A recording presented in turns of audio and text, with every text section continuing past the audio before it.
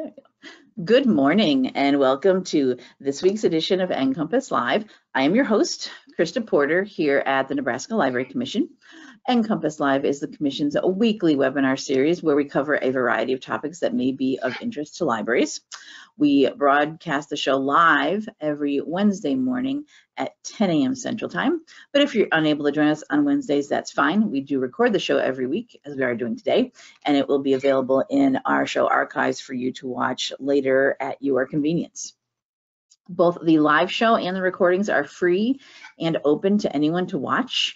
So please share uh, with your friends, family, neighbors, colleagues, anyone you think might be interested in any of the uh, topics we have on NCompass Live. Uh, for anyone who's here, who those of you who are here that are not from Nebraska, the Nebraska Library Commission is the state agency for libraries. So similar to our state library, whatever state library. Uh, so we provide services and training and resources to all sorts of libraries in the state. So you will find shows on NCompass Live for all types of libraries, public, academic, K-12, um, corrections, museums, archives, historical societies, whatever. Really, our only criteria is that something to do with libraries. um, we do book reviews, interviews, mini training sessions, demos of services and products, all sorts of things. Um, we bring in guest speakers from outside the library commission sometimes, but we also have our own commission staff that do presentations for us, and that is what we have today. Uh, joining me this morning is Sally Snyder, who is our coordinator of children and young adult library services here at the Nebraska Library Commission. Good morning, Sally. Hello. You said that whole long title pretty well. I did, well, I've got it up on my other screen here. I cheated. I can never remember the whole thing to, uh, off the top of my head. Um, and Sally joins us at the end of the year for uh, three of her regular annual sessions, I guess we'll say. Um, she does a session on best new children's books of the previous year, best new children's books of 2023, best new teen reads of 2023, and um, today we're talking about summer reading um, program for next year. Uh, so wrapping up 2023 and then starting up 2024. So if you're looking for some of Sally's sessions, you always look for them every year. Um, she did the Best New Children's Book one on November 22nd. The recording is available. Today we're talking about the Summer Reading Program 2024. Adventure begins at your library. And then if you're looking for the Best New Teen Reads of 2023, she'll be doing that on January 24th um, next month. I'm still reading like crazy for that. that so you can register for that one if you want to. Um, but today we're going to talk about summer reading, and I'm going to hand it over um, to you, Sally, to uh, tell us um, about all the new, you know, show us where your uh, list is here and tell us about all the new books. Great. First, I want to show you where the handout is available right now. If you want to go there and print it off now before I get started, or if you want to wait till later, that's up to you. But you can all see my the Nebraska Library Commission webpage, right? Yep, yep. I'm going to type in handouts and look how it pops up right there, handouts.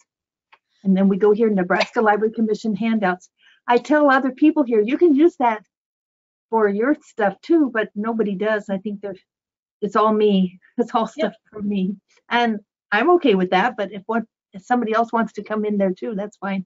So just click on Nebraska Library Commission handouts and you'll see the list here. It goes way back a ways, but if you want to see something old, you're welcome to. But the most recent things are here at the top. So it says 2023 NCompass Live 2024 SRP Adventure begins. So you click on that and there's the handout. And I think it's eight pages. Yes, eight pages. So, and I put some of the artwork from that theme right there on the page so you can have a look at that. And that's where that is. Oh, yeah, so go ahead and, and click on, the, um, go there if you want to right now. You can download that list. We'll also have a link to that handouts page when the recording, the archive goes up to for the show. So you'll be able to um, click there very quickly to get to this. And you'll also see my slideshow of the book covers. So if you want to go back and look at that and say, which one was it I liked so much? And, and then you'll find out because here's the book covers. And I'm just going to start the, wait for it. Oh, I always do Go it down. to, if you go to slideshow, there you go. Perfect. And uh, before we start going through the slideshow, while people are printing off the list, if they're doing that, I just have a few things I always say. And Uh, first off, the books on this list are ones that I received, we received here at the Library Commission, because the Library Commission gets review books from a number of publishers, not all books and not everybody, but quite a few. There are also books that I sought out because I looked at the library, the public library here, and also I bought a few because I wanted to have them for the list. And then I'll put them in the book giveaway. So everything works out fine. If your favorite book is not on this list, it's because I didn't run into it. These books are, for the most part, new, either 2022, a few of them, or 2023 publication dates.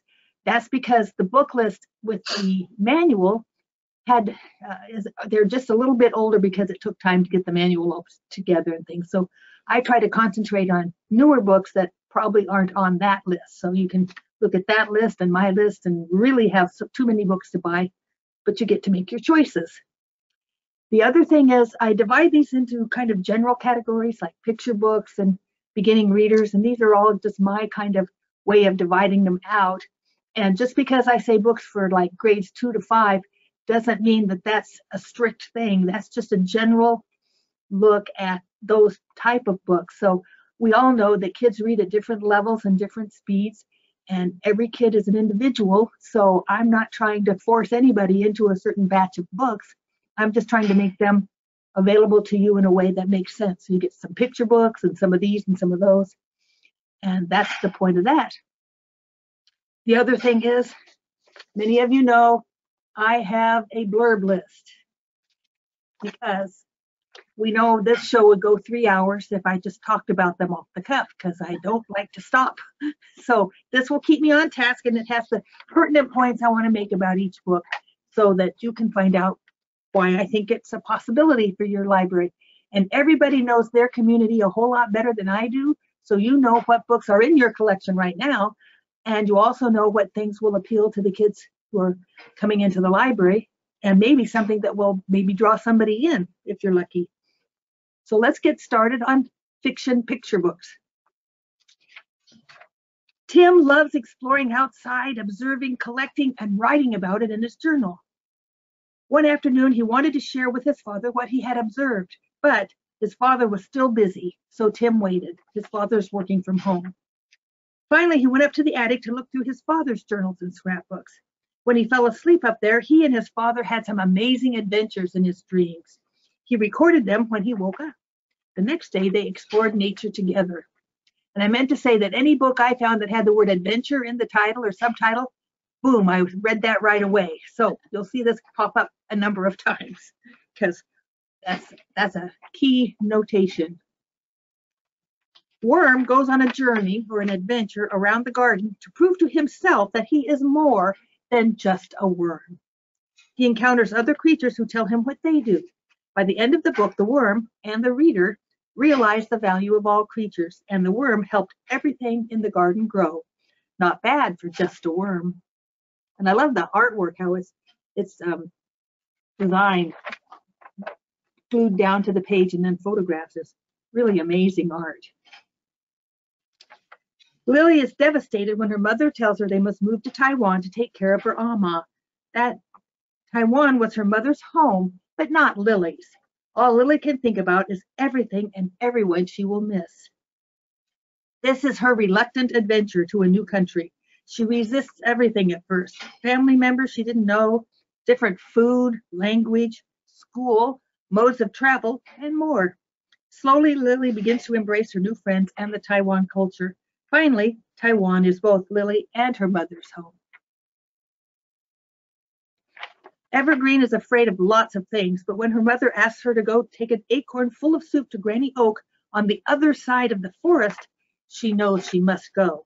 Granny is very sick, and Mama can't go because she must make a different soup for Auntie Maple.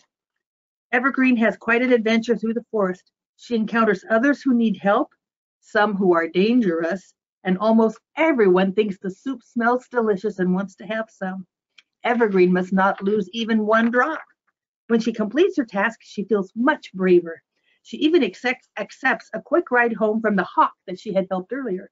But now she needs to take soup to Auntie Maple, and a thunderstorm is beginning. Thunderstorms are her very worst fear. I hope she can do it.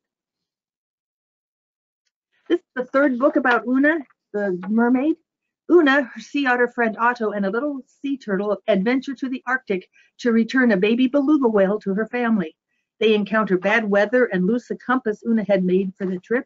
Still, they get some help from an Arctic mermaid, Siku, who asks animals and people for guidance. Finally, they find her parents, and now Una has a new friend. Maps are part of having an adventure, so this is a fictional story that gives good basic information about maps.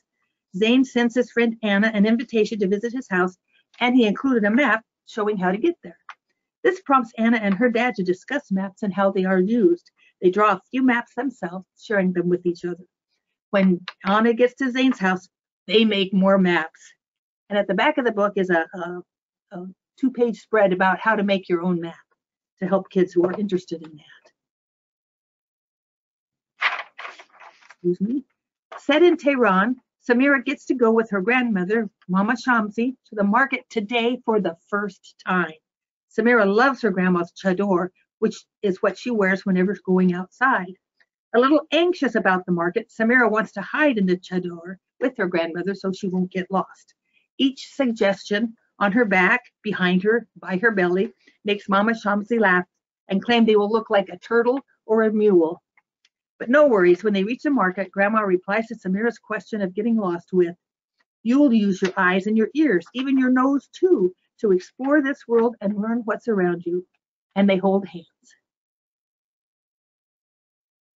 This an extinct volcano in the rainforest has a complete ecosystem in its crater. Ratty and his friends live in the crater, and he is one of the largest animals there due to their isolation. One day, Ratty climbs so high to get a mango that he can see over the edge of the crater to the world beyond. It must be wonderful out there. He finds a way through an underground river to leave the crater, and he is on his way to what he believes will be an even better life. But he found some inhospitable places, and then he ended up on a big green creature who invited him to dinner. He didn't know he was going to be the dinner.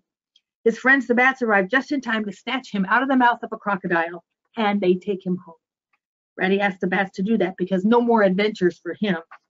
There are four pages at the back of the book that show Mount Bosavi in Papua New Guinea where Ratty lived. An expedition visited it in 2009 and found this ecosystem and the fact that the rats were very much larger than any other rats in the world because they had no competition. So a little bit of his, uh, facts and a little bit of fun. Fiction based on the author's experience. In Vietnam, Mai and her mother and her father loved to play the crocodile game Chomp Chomp. One day, her father leaves to find a new home for them in the United States. Mai and her mother wait, getting letters from him, until finally it is time for them to secretly leave.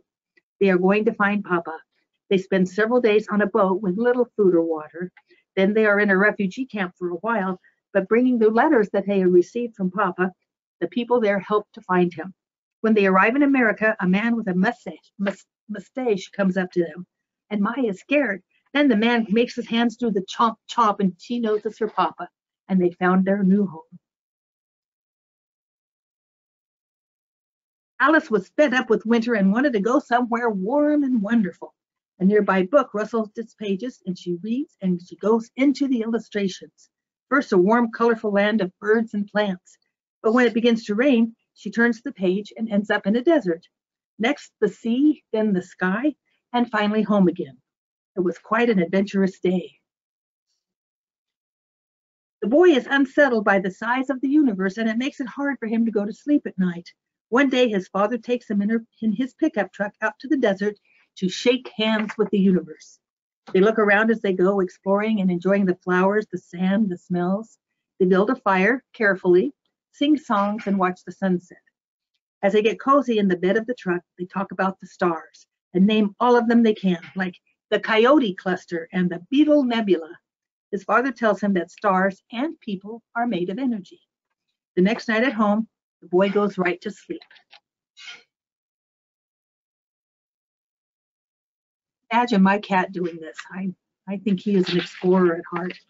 One day, Fred the cat, who loves food, does not show up for dinner. As the girl says where he isn't, he isn't under the bed or at the neighbor's. The illustrations show him driving a car, climbing a building, hanging on an airplane wing, obviously on an adventure. The next day, the girl frets and she draws lost cat posters, which blow away in the wind. The cat is relaxing at the beach. As the days go by, the girl loses hope. A two page spread shows photos of the cat's trip. Finally, the cat jumps out of an airplane and parachutes to the ground. But now he is in the desert and is truly lost. Then a spaceship picks him up, retrieves one of the posters floating in outer space, and takes him home, just in time for dinner. Kevin and his friends notice a ladder leading up to somewhere. While a debate on who should go first is held, Kevin says, I will go first, and he begins to climb. Fox tells Gorilla they should be first because maybe there's a strawberry donut up there. Kevin ri- arrives alone at the top first, and not a problem until he sees a huge white mouse. Then he happily welcomes his friends to the top. Together they play with the white mouse and they get some strawberry donuts. The ins and outs of always being first and the value of new and old friends. This is about, I think, the third or fourth book about Gilbert the Goblin. In this one, he is irked about how much people want to find a Yeti. After all, goblins are quite secretive and masters of disguise. So Gilbert's next adventure is to go to the frozen tundra on the mountain and show how easy it is to find one. He has a bit of trouble. After accidentally causing a snowslide, he lands in there marked with a sign, secret Yeti hideout. Will he survive? Mm, don't know. Some picture book nonfiction. I meant to say, if there are um, people who, as I talk about books, have had a, good or bad experience with these books and reading them to children, please speak up and let me know, let everybody know, because I read them, I share them with my great niece, some of them, but um, I don't really have an, the audience that these books are written for. So it's good to get input from people who are listening. Thank you. Yeah, if anybody has any um, thoughts or ideas or um, uh, suggestions, if you want to type into the question section of your GoToWebinar interface and I will read that off to Sally for you. No problem. Thank you. Okay, so sometimes I take a little bit of a stretch with the theme, but this was a wonderful book. Um, Nichelle Nichols played Lieutenant Uhura on the original Star Trek TV series, and the crew shared weekly adventures exploring the universe and encountering new people and problems. But Nichelle had already decided to quit the series since her character's part kept getting cut back when one person convinced her to continue in the part Dr. Martin Luther King Jr. He told her that she represented all Black people in a future that showed everyone contributing equally to a shared goal. And how he, he said, You don't understand how valuable that is. The front flap says, It reminds, that, reminds us of the importance of perseverance and the power of representation in storytelling. Well, I love giraffes. People probably know that. So when I saw this book, look, it's the adventurous life of the first Giraffologist, which I didn't know that was a word. Anna Innis Dagg, born in 1933, loved giraffes said she saw one in Chicago at the zoo when she was four. She tried to find a book or information about them, but nothing existed. She was laughed at when she tried to study giraffes at the university. She decided to go to Africa in order to learn about them, and she was laughed at again. She wrote to many national parks and game reserves, finally receiving an offer to stay at the Fleur de Lis Ranch in South Africa with more than 100 free roaming giraffes. She appreciated this opportunity, but in the author's note at the back, the author mentions that Dr. Day states in her states her negative view of apartheid in her memoir, Pursuing Giraffe, a 1950s adventure.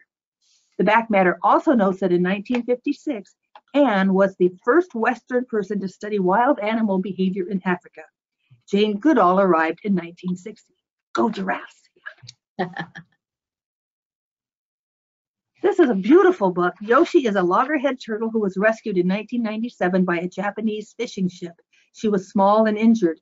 They took her to Cape Town, South Africa, and the Two Oceans Aquarium, where she lived, healed, and grew for 20 years. She did, began to grow restless, and the aquarium staff guide decided to guide her to swim and swim to prepare for the ocean.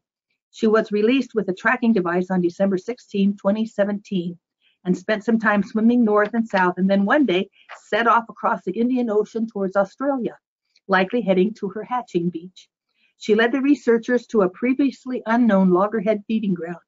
Her last transmission was from there in October of 2020. Beautiful illustrations show ocean life and, and the geography she likely encountered in the Indian Ocean. And the back of the book has a map of Yoshi's route home and additional information on loggerhead turtles. So she did have quite an, quite an experience. Now let's look at a few beginning readers.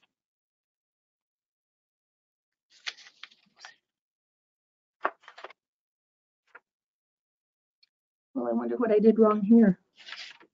I think I. Oh, I did something wrong. But anyway, this is like the fourth book about Sabrina Sue, and this is the first one I've read. And she is fascinated by the idea of flying because chickens really can't fly very well. So she does her research and she makes some plans. And all the other barnyard animals are telling her, it's too dangerous. Don't do it. Don't go there. You'll, you'll get hurt. But she did, did good planning and she and her frog friend have a wonderful time. And she considers going by parachute flying. Nat the cat takes a bath. Nat keeps saying that there's something wrong with the bath water. First, there aren't any bubbles, then there aren't any toys, and there's this and there's that. But really, he's too afraid to get in the water until the rat comes along and jumps right in and splashes the cat. And then they both get in the in the tub and get clean, and they're fine. So that was kind of an adventure for him because he had never wanted to go in the water until the rat showed him how. This book, this story starts with a, a look at what looks like a jungle, and in the distance there's smoke coming up and there's a crashed plane. And then we see these girls who are playing around among the flowers and they're having some adventures. And at towards the end of the story of their adventures, they hear a voice calling, Girls, girls, lunch.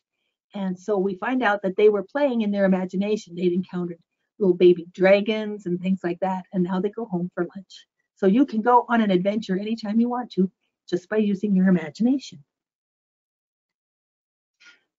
A boy and his uncle have gotten new hiking shoes and a map and they go on a hike and they hike up to this lovely view, nice big rock to sit on where they eat their snacks and look out and see how beautiful it is.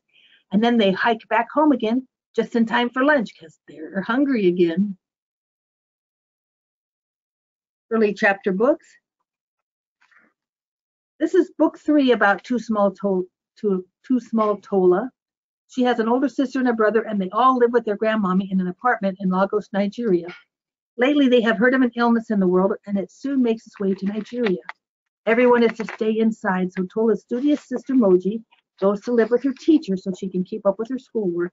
Her older brother Dapo, 15, goes to live with his boss so he can continue fixing cars. It isn't long before Grandmommy tells Tola neighbor, the neighbor will take her to a house that needs a girl to clean and wash and scrub. Tola misses her family, but knows she is helping another family and earning money since Grandmommy is not allowed to be outside selling ground nuts.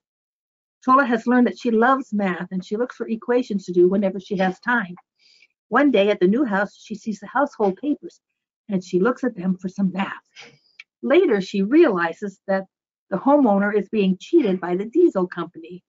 Her reward from the home homeowner is enough for grandmommy to pay the rent for three years. So Tola can go home and wait for the coronavirus to be, to be gone. Two books so far about Shark Princess. Book one is titled just that, Shark Princess. Katana, a whale shark and self-proclaimed shark princess, the first ever, gives a crown to her best friend Mac, who believes he is too dangerous. Lots of now loud sneezes due to allergies. He's too dangerous to be a princess. Katana announces that princesses adventure, so they go to the sunken ship that Mac had found. When some poles fall on them, they are trapped. But Mac's sneezing frees him, and they find a way for him to help Katana. Good friends on an adventure. The second book, reluctant because crowds make her nervous, but Mac talks her into going with him to their first shark party. When they arrive, they meet lots of different kinds of sharks, but one deep ocean shark did not get an invitation. The shark princesses will go invite her. On their adventure, they encounter some bioluminescent fish that have never they have never seen before, and then they find the ninja lantern shark named Adriana. She prefers to be alone and thanks them for the inv- invitation and says goodbye. Back at the party, Katana explains that not everyone likes crowds, and that's okay. At the back of the book, well, both of these books have um, information at the back of the book. They both have a page about how to draw sea creatures or, um, well, sea creatures to look for in the stories, and then how to draw the, um, first the beluga, the, sorry, the whale shark that the princess is, and then the mako shark, which is what Mac is. And then they they show some of the different sharks that were in the group. So that's that's two books so far in that series. I expect there'll be more. Lots of different books about stick and stone. This one they're on the go, so they're on an adventure. It's a full color graphic novel and it contains two stories about the best friends. In their first adventure, they are going on a picnic with their friends Acorn, Moss, and Beetle. But Beetle invited the bees. Bees are scary. Stone is afraid. Stone finally finds several things to be scared of, but especially the cave they are all going to explore.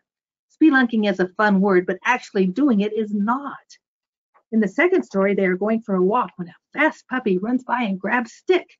Stone thinks quickly to find a way to rescue Stick. This is the second book about Crimson Twill. The first one, she went to the city.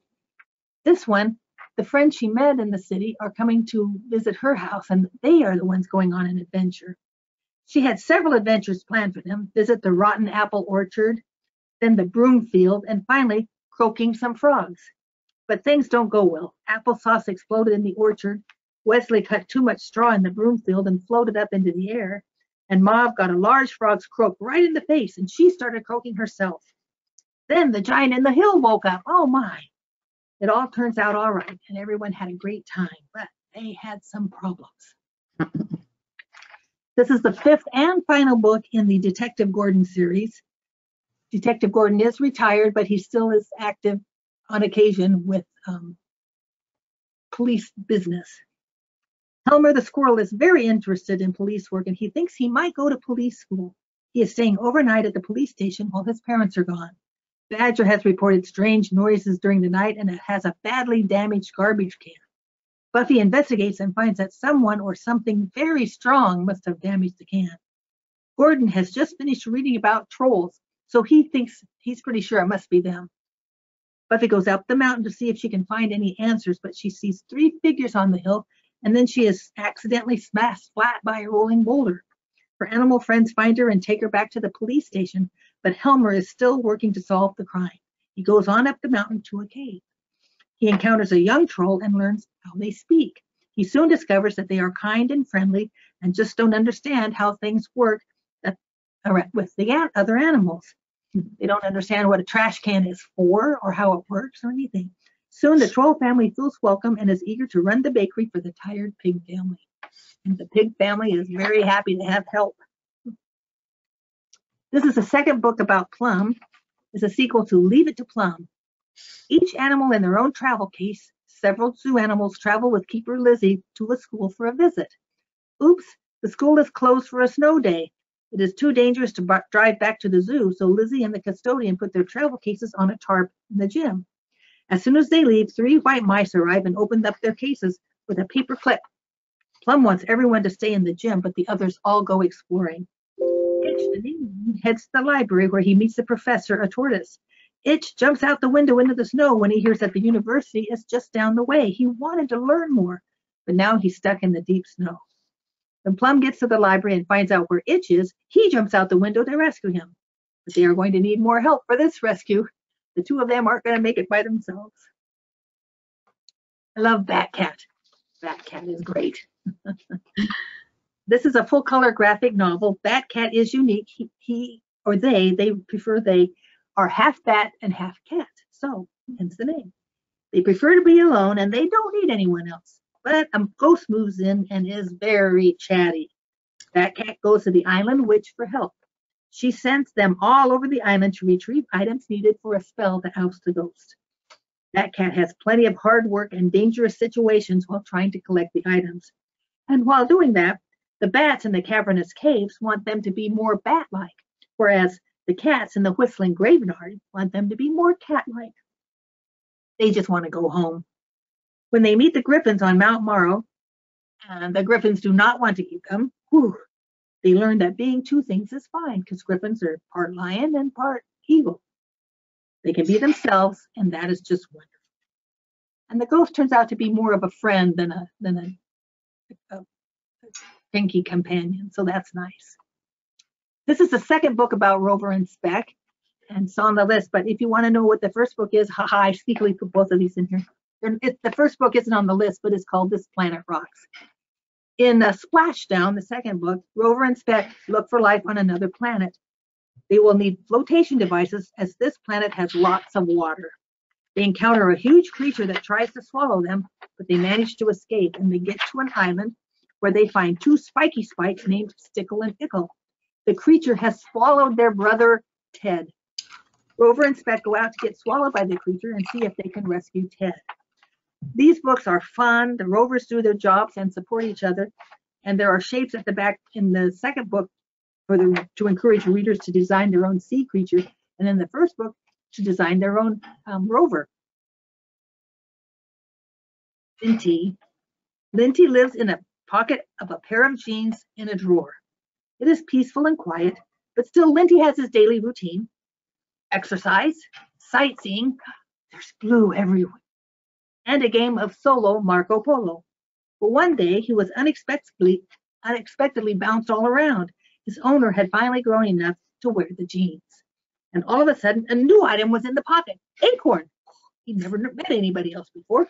Then lollipop. Then more. At first, he's kind of frightened, but then he begins to really like having lots of different friends who have different interests. But then wash day comes, and everyone leaves the pocket except Linty. Will he ever see his friends again? And what will happen to Linty during wash day? Good question.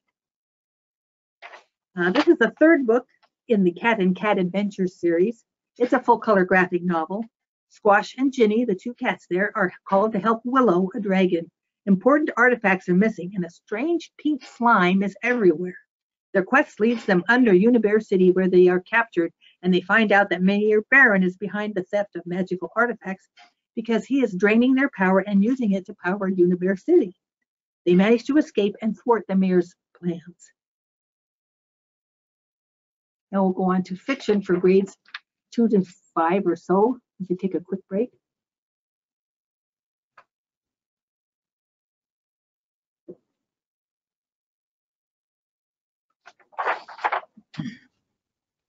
He is stuck at home with his older sister, Derossi, who's 14, his younger sister, Juniper, and his parents due to a worldwide virus. Clay wanders the woods behind their home because he can be out and about by himself, and it's a relief to be alone and somewhere else. Then he encounters a lost dog, a magical dog. Over time, the boy and the dog explore the woods, and Clay begins to realize the dog takes him on paths that he has never seen before and he never found by himself. Clay doesn't know it, but Elfinor, the dog, is one of the hunting dogs of the people under the mountain. During one adventure, Clay encounters an owl-headed boy, Amos, and they become friends, though it is forbidden by the owl-headed people to become friends with humans.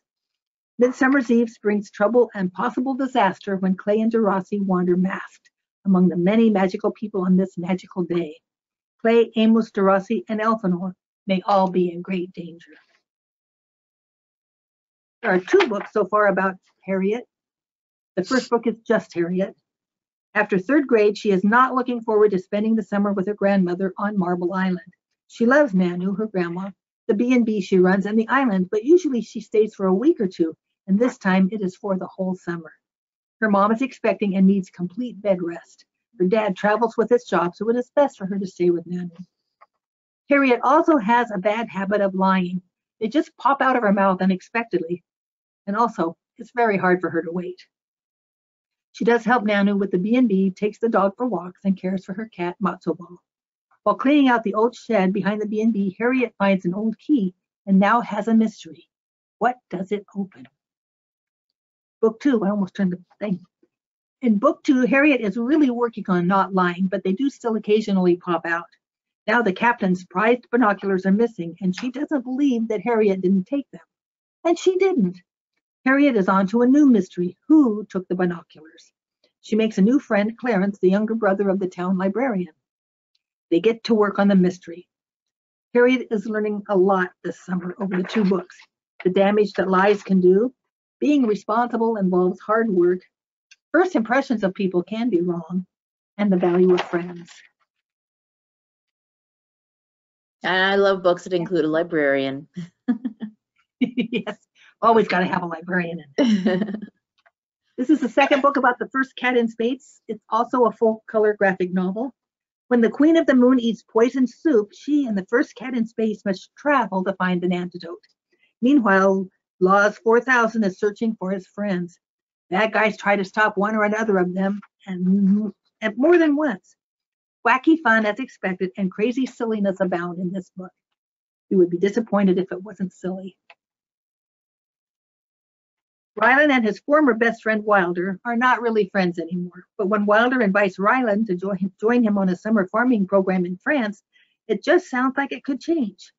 Just before they leave, Rylan finds out that his father, whom he hasn't seen in years, lives in Paris and would like to see him. Rylan isn't sure about that. He also isn't sure about this trip. Wilder ignores him. The work they do is tedious. The goats, the goats they must milk like to bite. And there are pigeons and poop in one of the buildings. Still, he learns some things about himself and about people and must decide whether to meet up with his father or not. Eight from England, Sage in California. They are both 13 and their families swap houses for a spell during the summer. Each girl has some issues. Only child Sage is certain that her parents are planning to divorce. Middle child Allie is sick of being expected to give in since the family votes on everything and no one agrees with her choices, whether it's the movie they watch, the type of pizza, the TV programs, everything. And that gets old. The girls meet in England when Allie and her mom stay behind for a couple of days since their dog needed an operation. They bond and they soon have a plan in place for Sage to find out if her parents really are planning to divorce. It's quite an adventure to visit another country and live in somebody else's house. And their scheme may work or not. This is this is like a fairy tale, but it's a new one, and it's written as though it came from long ago by the Irish author Eoin Colfer. That's how you pronounce his first name, Owen. A new fairy tale. Oh, I said that. Prince Lear is forced to act as a quester knight in order to return to his former kingdom eventually. He must rescue the damsel Sethlin from the dragon Lasmarn. Likely he will die in the attempt. Oh. But Prince Lear is not what the dragon expected, and the three of them coexist rather peacefully on the island until usurper Delbane arrives to ascertain why isn't Lear dead yet. It's an interesting dyna- dyna- dynamic between Lear, Sethlin, and Larsmark, and who will survive the day once Delbane shows up. Another wonderful book based on the new kid. This is book three. It's time for the school trip. Students will be going to Alaska, Yellowstone, Paris, or on a civil rights trip. Jordan and most of his friends are going to Paris. The mix-up at the last minute means the teachers will not be going to their original destinations. The Paris trip gets Mr. Roche and Mr. Garner, not the French teacher, who will be going to Yellowstone.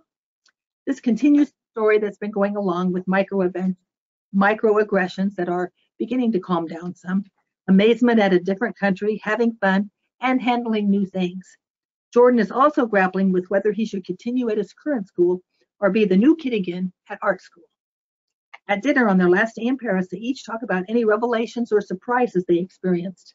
During the story, periodically, Jordan asks, is touche or hors d'oeuvres or bon appetit or rendezvous another French word that we always use, often without anyone replying to him? He's observant, and it's a good way to point that out. Wonderful. Book three and four in the Once Upon a Tim series, the first book being, of course, Once Upon a Tim. In book three, Tim and his fellow knights are charged with retrieving the Queen's golden fleece and, coincidentally, the mystical protective amulet of Maryland that was in his pocket. They take the Herring, a dilapidated ship, to sea and soon encounter sea monsters. When they finally reach the kingdom of Deacom, the Queen there trades back the fleece but has decided to keep the amulet. Now what? Readers looking for humor and adventure will find what they want here. Both titles also contain the, the occasional IQ boosters that's been in the series all along. This one has a cliffhanger ending. Thank goodness book four's out already. Cliff, I mean, they are on the edge of a waterfall. They are going over. Like literally a cliffhanger. Quest of Danger. A very last minute rescue from certain death has our knights in training indebted to the kingdom of Merland, their rescuer being Princess Piscina, a mer person. The king and queen want the knights to go to Atlantis to retrieve the great trident of Merland. This will likely entail encountering the evil Prince Ruprecht and his minions. More danger and life-threatening events must be faced. While this story is resolved, there is an opening for more adventures to come. This is the first book in a new series, a, a spin-off of the InvestiGators series. It's a full-color graphic novel. Cilantro the Chameleon is given her first official assignment, investigate the strange and confusing activities around an abandoned field office pursuit, Special Undercover Investigations Team. With her new partner, Monocle, Cilantro encounters a scarecrow observation unit, some sheep with a cause, unusual crop circles, and maybe aliens and wacky situations will appeal to readers. The last page of the story indicates that the B team, Badgers, Bongo, and Marcia, will be the subjects of, book, of book two in this series. From Badger to Worse comes out February 20th of next year. Full color graphic novel based on the author's webcomic. Monsters must live with humans away from the magical barrier that keeps them safe in order to find any special skills or abilities that they may have. So one day, Pebble's parents tell him that it's time to find a human family to live with outside their protected monster cave. He is reluctant, but he does find a home with Wren and her two fathers. Wren loves scary movies, so she is looking forward to being scared by Pebble. Pebble is out of his element and is scared to be in a new place with humans. They soon find friendship and have fun together. Readers will love learning about how life is with monsters and how Wren adapts to make Pebble feel welcome. But the reckoning day is fast approaching. If Pebble doesn't have a new special skill or ability, he will have to go home. Is it too late? Gilligan, or Gilly, a possum, assistant to Mayor Crawdaddy, a raccoon, is assigned to handle the issue of the lost Golumpus and send him home. They live in Theodore Wirth Park in Minneapolis, St. Paul, and a blizzard has just started blowing snow everywhere. Gilly joins the Earl of Sussex, a squirrel, trying to help Twigs, the Golumpus, or as you can guess, a mammoth, a woolly mammoth. Twigs just appeared in the bog area of the park and he doesn't have much to say except that he doesn't want to go home. The group picks up a couple of children and an older man and continue to walk through the snow around the area, trying to avoid the three cavemen who somehow apparently followed Twigs to the park. When they all finally discover that a time vortex has created this situation, they hurry back to where Twigs, was first found. Hopefully, they can return him to his own time. Adventure in the title again. Haven, the cat, loves her new, warm, comfortable home and being cared for by Mom Millie. But Mom Millie begins to feel sicker and sicker until Haven decides she must leave the house to find the neighbor man. Once outside, she doesn't know which way to go and ends up on an adventure with the help and guidance of a friendly fox. Will she find the neighbor? Will she find help for her, her Millie? We don't know until you read till the end. This is also a full color graphic novel. Clementine Fox and her friend Nubbin stow away in the basket on top of the sea turtle. Annabella is a sea turtle. Nubbin's older brother is taking Annabella to Clementine's Aunt Marnie, who lives on a nearby island. The vet recommended they go to her. They end up on the other side of the island and learn a lot about the care of animals and people's desire to live quietly in peace. And it turns out that um, Annabella is getting ready to lay eggs. This is a, was a fun book. I think I particularly fond of it because I was reading it when I was in O'Hare Airport, and this takes place completely in the O'Hare Airport. So that was really fun. All uh, flights are delayed due to a thunderstorm. So it opens with a misunderstanding at the security point, which sends rumors and confusion throughout the stranded passengers. It's kind of like how the game Gossip warped whatever had been said in the beginning as you go around and things get kind of out of whack and pretty soon people are saying what happened at the at the um the beginning point is is uh, completely different from what actually happened. There are 12 Asian American author, authors who each write a chapter creating an interconnected story. Racism and microaggressions are challenged most, mostly peacefully by other Asian Americans and white people, often together, calmly and gently, pointing it out. That is racist, they'll say to someone particularly one lady who um, shows up again and again in the stories. She's a white woman with particular opinions, and she's not thinking about what she's saying. Some of the authors are Linda Sue Park, Erin Entrada Kelly, Grace Lin, Helen O, Christina Soontornvat, and Susan Tan, all edited by Ellen Lowe. Ellen O, sorry. This was um, published last year, but it's still a great adventure. Brother and sister Violet and Joby are house mice, used to coming out at night to nibble on crumbs in the house while avoiding the cats. After being caught in a box trap, they are released in the state forest and they're expected to know how to survive. They've never been outside. Why would you think I can survive here? I have I know nothing. Early on, they encounter Zolian, the oldest mouse in the forest, who helps them adjust and survive. Soon they are doing well and enjoying all the forest has to offer. And soon they are maturing. Joby has found a female mouse he wants to be his partner, and Violet faces the fact that they are going to be living apart. Her friendship with Zolian is strong, though they know Zolian will not be around forever. Predator and prey, food and shelter, life and death are aspects of wildlife that is not ignored. Change will come for all. Revisit of the original Treasure Island, Zane and his friends Kiko and Jack are searching for treasure in Manhattan, just across the river from Queens, where they live. They have a map given to Zane by the old sea captain who was living in their boarding home and died of a stroke. They face a strong gang, gang of skateboarders who want to steal the treasure and a man claiming to want to help Zane and his friends. During the search, the reality of slavery and discrimination is encountered when they visit the African Burial Ground National Monument and realize the graveyard of both free and enslaved Black people was built upon for commercial enterprise. It includes a skateboarding trick glossary at the back of the book and a historical note. And it follows, um, well, I shouldn't say that. There's, of course, differences, but the idea is that the skateboarders are like they're on the ocean for the way they skate around and, and move and things. WizKit is an adventure overdue. It is so fun. Full color graphic novel. WizKit is a one-eyed cat apprentice to a wizard. A tad lazy, not interested in going out. WizKit is appalled when the wizard tells her to accompany the talkative overdue library book back to the library. They have a number of adventures along the way involving a water dragon, a selfish frog, a three-headed bird, and more. Now WizKit has some friends and a new approach to life. And the book does get back to the library. I know you were worried about it.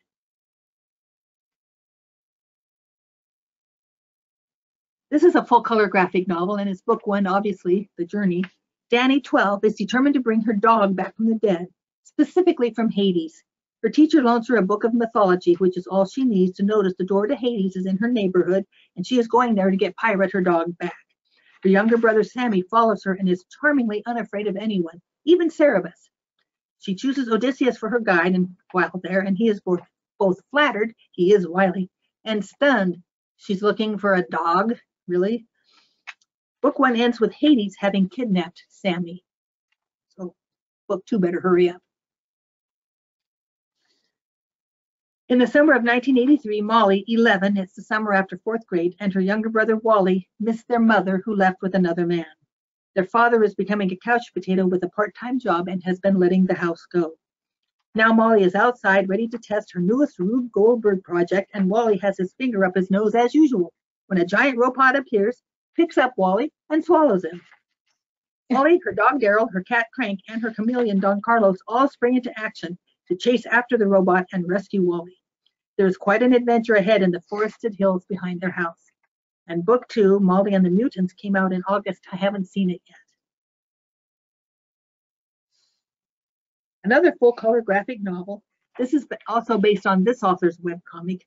A colony of house mice have been searching for food and possibly for a new place to live since the humans are gone from the neighborhood or small town they live in. Wix is a scout going out every day trying to find food for the colony. Wildcats are a constant danger, but he is quick and clever. Pict is the head mouse Orem's daughter, and she is also clever. A faction of the colony want to leave for the city, imagining humans and their food will be there. Orem wants more information about conditions in the city before they all go there. Rumors abound, and some mice and rats are only looking out for themselves. Others care about everyone in the colony. There are also other animals that make an appearance from time to time. A moose named Atlas, a hungry pack of wolves, a possum, three fox sisters, they're the witches, and more. This is also good for middle school age readers if you were looking to have a carryover book. Book one of the Legends of Lotus Island, The Guardian Test. Plum has lived on Little Island in the Santipop archipelago all her life. The only other people there are Grandma and Grandpa. Now she is leaving to go to Lotus Island to study at the Guardian Academy and hopefully become a guardian. It seems impossible. Plum has trouble with her studies, and unlike the other students, she hasn't even an inkling of any animal shape she might be intending to change into. She should be discovering this within her first month. If she doesn't, if she cannot change into an animal shape by the end of the month, she is out. A combination of boarding school, magic, trying your best to be to no avail, and a variety of students make up the class, each with their own idiosyncrasies. It has humor and heart and also includes occasional black and white illustrations. Book two, Plum discovers that her power, or one of her powers, is to enhance other guardians' powers. Now, Plum and some of her friends are sent to Bokati Island to work with the Guardian Master M for their field study assignment. The issue is someone or something is taking away the huge Bokati, Bokati trees. Only a few are missing so far, but they are precious to all islands and must be preserved. Plum is worried about the trees and still also about her powers. Kirkus says, a fun, magical journey featuring a relatably conflicted protagonist. So this is two books. I'm not sure how many are going to be in the series or when the next one will come out. This was also published in uh, late 2022. Mott finds a cute white puppy in a trash bin and then learns that he is Fenris, the mythical wolf who will eat the moon and bring the world to an end, Ragnarok style. She has Mhm. already vowed to protect him. This is a dilemma. With the help of a Valkyrie, Thrudi, they continue to protect the pup while watching the world slowly fall to pieces. Is there a way to protect the pup and save the world? Mott will do whatever it takes. Punicorn is so fun. Love this. It's a full color graphic novel. Punicorn, a trainee cadet and the smallest and clumsiest unicorn of the chosen ones, an elite troop of heroic unicorns, is left behind to defend the Uni Palace and save the land of Carbuncle. With his new friends, Wheeze the Dragon and a quite strong dung beetle, Pooh, they are off to save the day. See his two friends there. And, and Pooh has his roll of dung with him. Lots of fun with colorful illustrations. Readers will root for the trio. Book two will be Punicorn and the Princess of Thieves. That's advertised in the back of the book, but I don't know when that's going to come out. And I'm going to have my eye out for that because I This is a full color graphic novel as well. Grace, 12, lives with her mom, Evelyn, on a space station and finds her life a little boring. Her ba, Kendra, flies a cargo ship from planet or moon to other planets or moons and is only home occasionally. This time, Grace is traveling with her ba to Titan, a moon of Saturn, and Grace can't wait to see some of the sights, especially the Kraken Mare, the largest known body of liquid on its surface. But Kendra doesn't have time for Grace, and she won't let Grace help with anything, even though she helps her, home, her mom at home all the time. Kendra says the ship is delicate and she has a particular way of doing things. Things come to a head when Grace finds a way to visit Kraken Mare without Kendra, tagging along with students on a school trip. She falls asleep and is left behind until she wakes up and calls for help. Now she is in deep trouble, and her boss ship isn't flying right. Evelyn is on the way to help. After some hard feelings on everyone's part, the ship is fixed, as is the rift between the three of them. Ba and Grace plan again for a better trip together next time. Now we'll talk about some nonfiction books. Oh,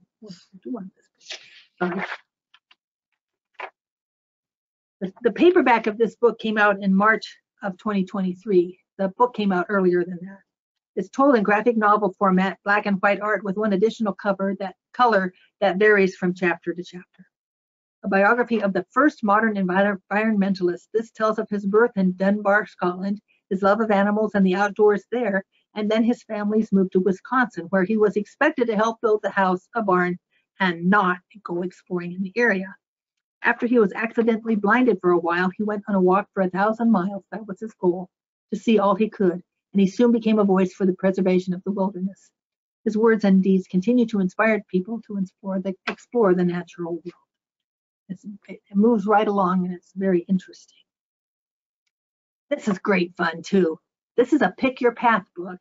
The reader The Oh. reader has to choose a team, the type of craft their team will use, and where they will begin their search. In this book, of course, they're looking for a giant squid. The emphasis is on the people and the hard work they do with a bit of science thrown in. Some searches will be successful, some will not, and those will take you back to an earlier place in the story so you can try again. I think the kids will be interested in this and hope, hoping they find the giant squid right away, but they'll have a lot of fun looking through the book. A brief biography of Tom Crean, who I had never heard of before. Tom Crean accompanied explorations of the Antarctic three times. He was on the Discovery, the Terra Nova, and the Endurance, and contributed to each expedition. From being caught on an ice floe with some companions, he leaps to a cliff and climbs up it to go for help. To being one of five men chosen by Shackleton to sail 800 miles over rough seas to South Georgia Island to get help for all the others, Tom Crean was someone you wanted with you on an expedition. Hmm. He was Yeah, I've heard of those other people you mentioned, but not him. That'd be cool Yeah. to learn about. Hmm. very interesting. And you know, animals can have adventures too. this book includes 10 animals that travel, more or less. The first two page spread of each animal is a map of where that animal travels with information included in boxes on the page. The second two page spread gives more details about the animals, what they eat, their average height and weight, along with some information pertinent to that animal. animal. For example, how emperor penguins take care of their eggs and chicks. They're colorful illustrations with tidbits of information that will appeal to young readers. I have a few teen titles. Look, I'm not that far over time. um, early Japan, this takes place in early Japan. The, the family is everything to twins Kai and Kishi. They are the newest divers in their family and their parents support their pearl diving efforts. But one day, Kishi is swallowed by a ghost whale and Kai is determined to do what the sea god Benzaiten requests in order to save her sister. It will not be easy. This is told as a myth, and this adventure will keep readers on the edge of their seats. This is another full color graphic novel. Paul is stuck visiting his older brother Theo in Taiwan for two weeks. Theo loves Taiwan, but Paul is not interested. He sits on the couch and plays video games with his friends in the United States. One day, his brother Paul is going to be gone overnight. His brother um, Theo is going to be gone overnight, and Paul promises to be safe. Still, a friend texts, his, texts him to go to a computer store to buy an item not available in the US. He follows the GPS on his phone to the store and finds out the product is for little kids. Bah! He narrowly avoids being hit by a scooter, falls, and his phone lands in some water. It doesn't work anymore. How will he get back to his brother's place? He can't follow the GPS anymore. Fortunately, he encounters Beijing, a local young lady who spent some time in England. She offers to let him ride her scooter with her while making deliveries, and maybe he will recognize something. And over the course of the day, he sees and experiences a lot that Taiwan has to offer. He has a new opinion of the country. Another full color graphic novel. Uh, Healy is high, high school, loves gothic romances, and she soon finds herself in the middle of one. On her way home from school, Haley sees a man in the river and she saves him. Somehow they ended up in now they end up in another dimension, his dimension. Willowweed Manor has an infernal device that is supposed to keep the dimensions in line, but sometimes they get a crack and it leaks. The brothers are there to maintain and repair the device. Montague, Lawrence, and Cuthbert. It is getting worse, and Montague escaped the dimension to find help. He got Haley. Humorous, dangerous, and over the top, readers will enjoy the storyline and Haley's determination to help. Kirkus says a delightfully, delightfully spirited adventure. And as you can see, the rabbit's attacking and she has her umbrella. This is just one of the things that they face trying to save all the dimensions. Coral, 14, and her cousin Isa, 13, are more like sisters since their mothers and sis are sisters and their fathers are brothers. Now the cousins will be spending the next four months apart. Coral's parents are taking her with them, sailing around the islands of Indonesia to continue their research. But after a tidal wave capsizes their boat during the night, Coral is now all alone living on an island. She was sleeping on deck and had time to put on a life jacket and grab the survival kit, tossing life jackets to her parents before the wave hit. It is up to her to remember the things her father taught her and to continue to survive while hoping for rescue. Told in alternating chapters, first from Coral's point of view and then from Isa's, this is an adventure Coral never wanted. Hmm. full color graphic novel.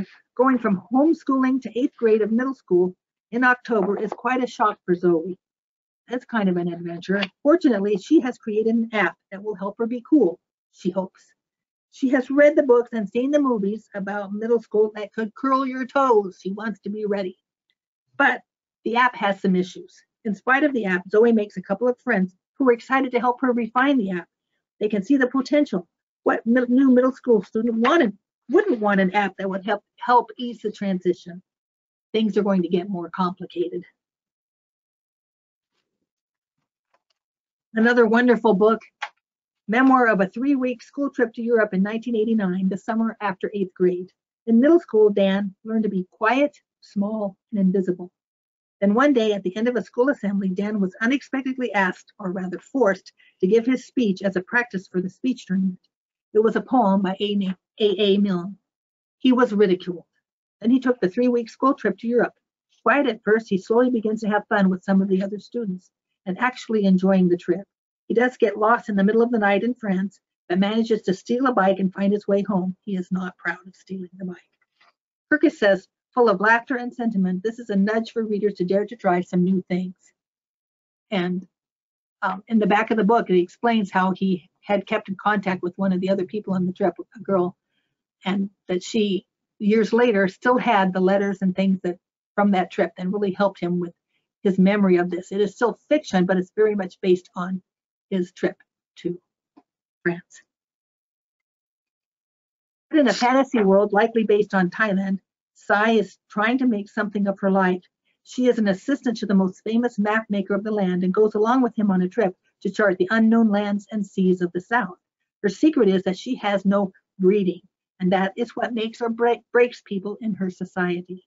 Others on the trip have secrets too, and some can cause danger and damage to others. An adventure to, to discover not only the new lands, but also to learn what one is made of. And this is a Newbery Honor book, and it's good for upper elementary ages too. A full color graphic novel. Atana is a mermaid and has lived alone by her island all her life. One night, Ren, a firebird, arrives and befriends Atana. It has been hundreds of years since a firebird bird has landed on Earth, and they are considered valuable.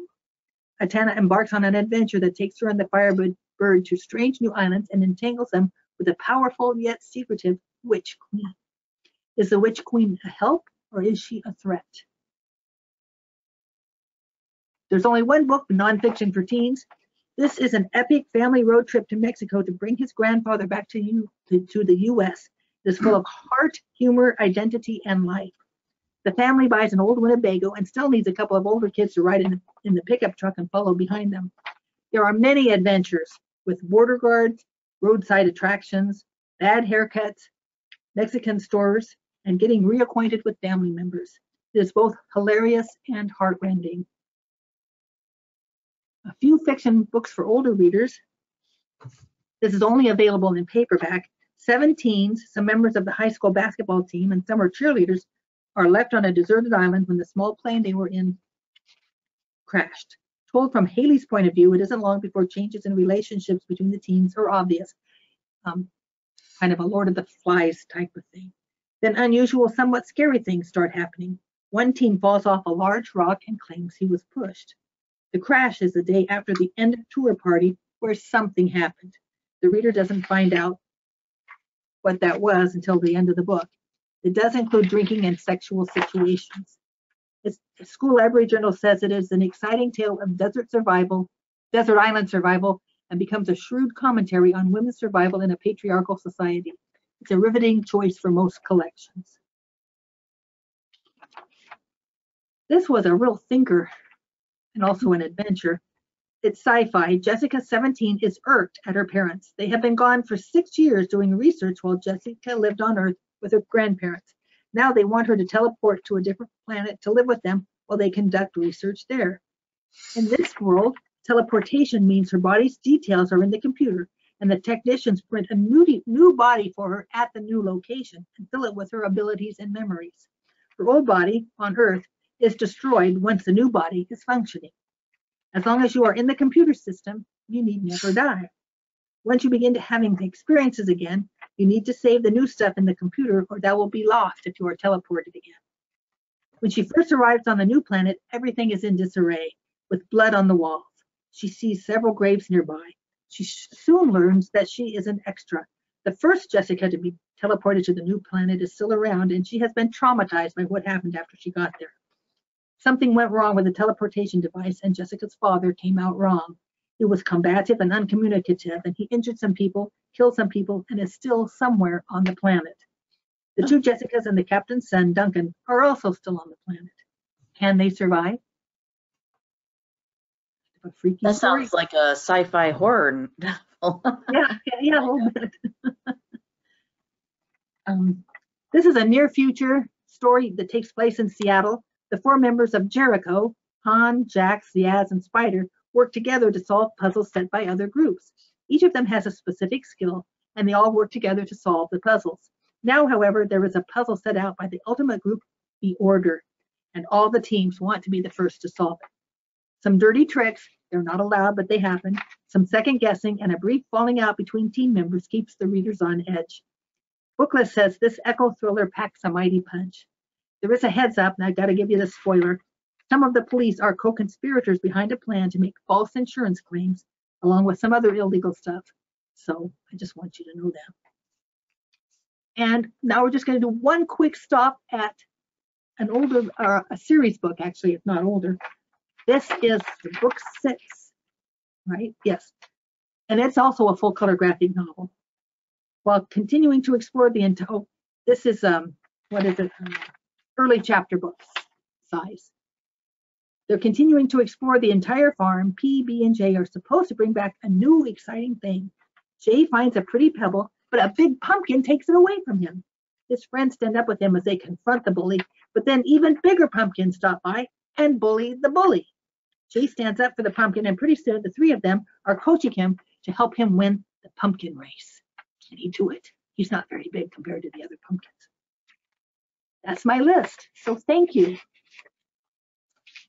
All right. Um, okay, leave that slide up there now uh, for a bit. Um, all right, thank you, Sally. Uh, um, anybody have any questions, comments, or uh, thoughts on any of the books or any titles you want to share that you think um, would be good for the summer reading program next year? The adventure begins at your library. I love this um, uh, theme uh, because it, it can be so many things can be adventure. Um, and you know sometimes it, it's great to have themes that are very focused and so you can really you know zoom in on oh this is exactly what this is all about it's about the ocean or whatever but this is nice that anything can be an adventure and it can really attract and interest um, uh, children and teens with all sorts of um, things that they might be you know might catch their attention Right. It can be a mystery. It can be a science fiction. It can be any, any genre. Yeah So we- i'm excited about it yeah. All right well thank you so much sally for um, your ideas and, and uh, book titles. As as sally said at the beginning this is not every single title that's out there. Um, it's just the ones she came across and added to her list. There's going to be lots more that you'll find too.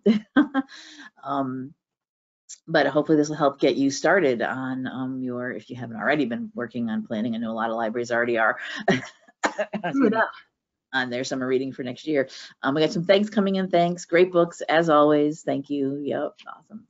All right. I am going to pull presenter control back to my screen um, and I'll show you here.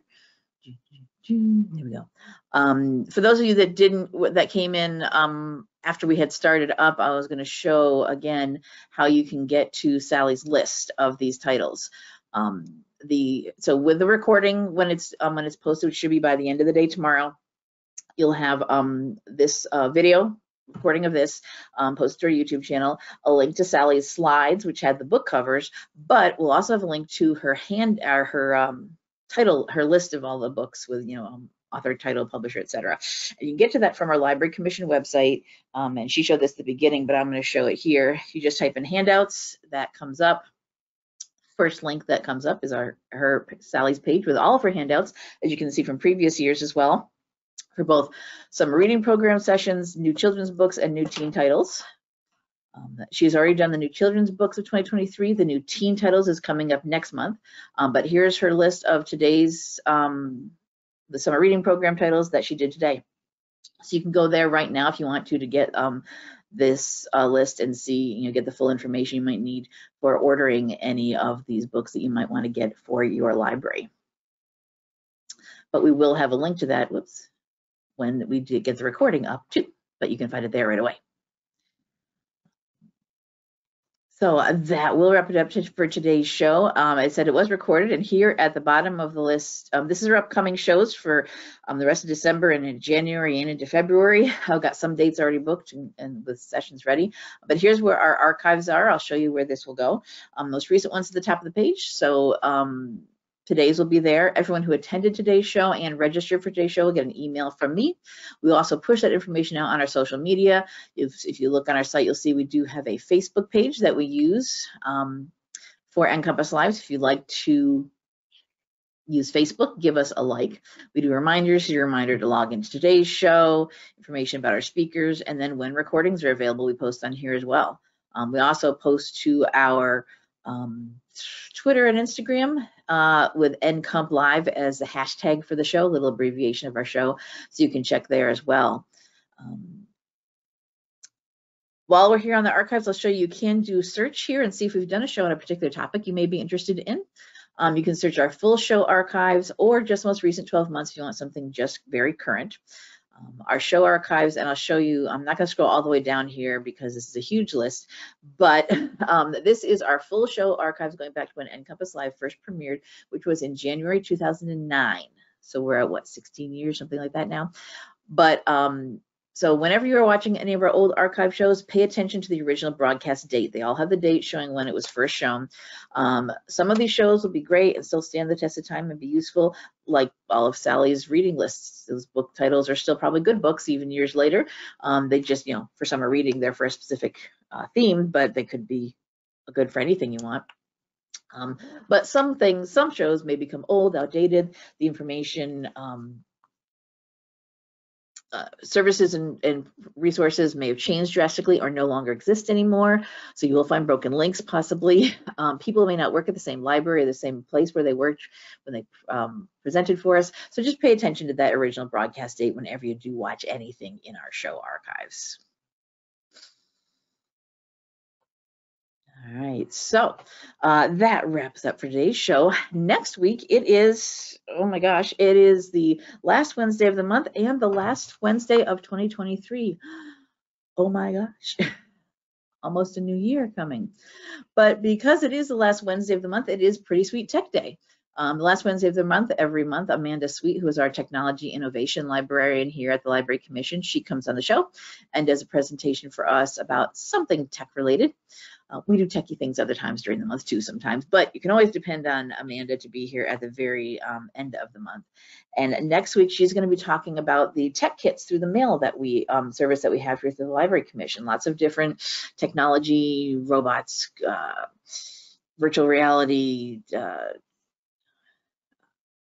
programming kits, all sorts of things um, that she um, that we circulate here through Nebraska Li to Nebraska libraries, and there have been some new things added to the um, program. So if you're interested in trying out any of this new technology, take a look at that website, Tech Kits Through the Mail, um, but also attend next week's sign up for next week's show, which can tell you about all of the new things that you can borrow through the Library Commission for use at your library.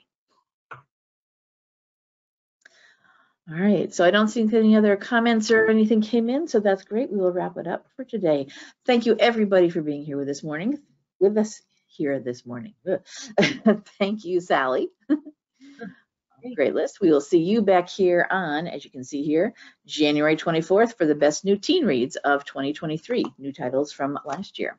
Um, and as I mentioned at the beginning of the show, for anyone who came in late, um, Sally does these three sessions for us usually near the end of the year, summer reading program for next year, like she, as she did today, new teen reads, which is coming up in January, and she did best new children's books in November, and the recording is already up um, there, so you can go and check that one out if you are looking for some teen titles. All right, thank you everybody, thanks Sally, and hopefully sure. we'll see you all on a future episode of NCompass Live. Bye-bye. Bye. -bye. Bye.